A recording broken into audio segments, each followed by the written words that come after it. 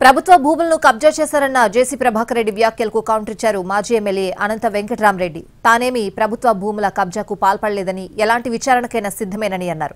జేసీ ప్రభాకర్ రెడ్డి బెదిరింపులకు భయపడేది లేదని తాడిపత్రి ఎవరి జాగిరు కాదని అన్నారు.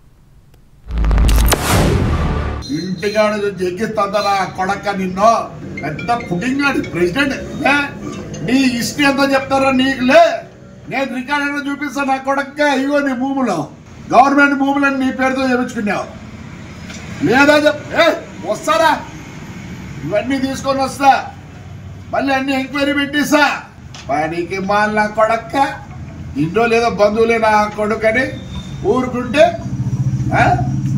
ఏమరా? మీరే ఉన్నారు. ఎంక్వైరీ చేయండి. నేను సహకరిస్తాను ఎంక్వైరీకి. నా పైన. భయపడే వాళ్ళం కాదు.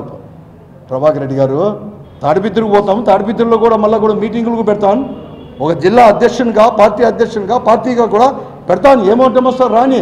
ఏం జరిగినా కూడా దాంట్లో ఎప్పుడు భయపడము. పశువుల కంటే జంతువుల కంటే కూడా వర్స్ట్గా బిహేవ్ చేస్తే ఎవరు ఓర్చుకునే వాళ్ళు లేరు ఎవరు సహించే వాళ్ళు కూడా లేరు ఎవరు ఏం లేరు. నాకు పోతే ఉంటూ ప్రాణాలు పోతే పోతాయి లేకుంటే లే అంతేగాని ఇటువంటి వాళ్ళకి తావ్యము